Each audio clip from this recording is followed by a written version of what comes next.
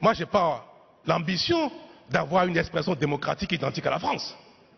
Je vous dire pourquoi. Je vois des gens qui sont choqués. Je vous dire pourquoi.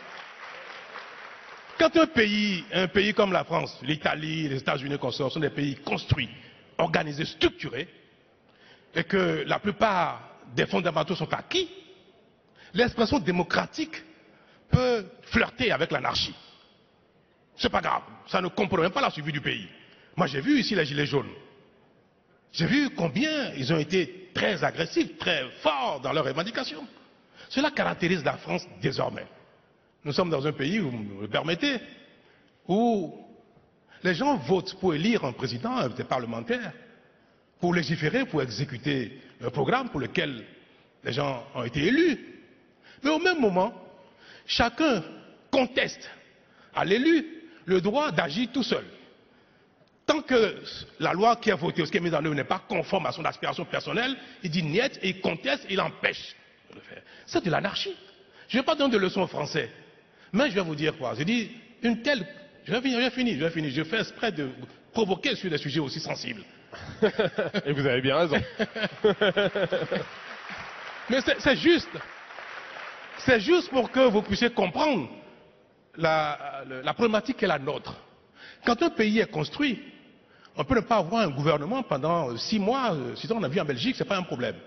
On peut contester tout ce qui se fait, le pays n'est pas véritablement paralysé. Vous êtes en train de nous dire que l'anarchie et la contestation, c'est un luxe Là? L'anarchie et la contestation, ce sont des luxes. Ce ne sont pas des luxes, mais ça peut être. Euh, euh, c'est pas préjudiciable à la suivi d'un pays qui est déjà les fondamentaux. Mais quand un pays est à construire, ou notamment un pays dans lequel tout est à reprendre, vous avez besoin d'avoir une réglementation forte. Vous besoin que les gens respectent la loi, soient disciplinés, et euh, si l'expression démocratique qui doit s'exprimer, il ne faut pas souhaiter que ce soit euh, pareil que euh, ce, qui est le cas dans, les, pays, dans les, pays, développés. C'est pour ça que le droit de grève tel que nous l'avons réformé au Bénin, on ne peut pas le faire en France. Parce que ce ne serait pas acceptable. Mais au Bénin, c'était devenu important, vital, primordial. Sinon, ce pays restera éternellement dans la pauvreté. Nous avons besoin de faire les efforts que vos parents, vos ancêtres ont fait il y a quelques années, quelques décennies, quelques siècles. La France a été construite par les efforts soutenus de, vos, vos, de, vos, ancêtres. Ce qui fait qu'aujourd'hui, vous avez quelque chose à partager et qui fait que vous avez besoin d'un système plus équilibré pour euh, avoir un partage équilibré des choses. Les nôtres, dans nos pays, on n'a encore rien fait du tout. C'est maintenant que les Africains ont besoin de construire leur pays pour les générations à venir, ce qui permettra aux autres de demain d'être plus exigeants parce que les efforts ont été faits maintenant. Il faut le temps d'effort et, c'est pour ça que je voudrais dire à tout le monde que le Bénin est dans cette phase.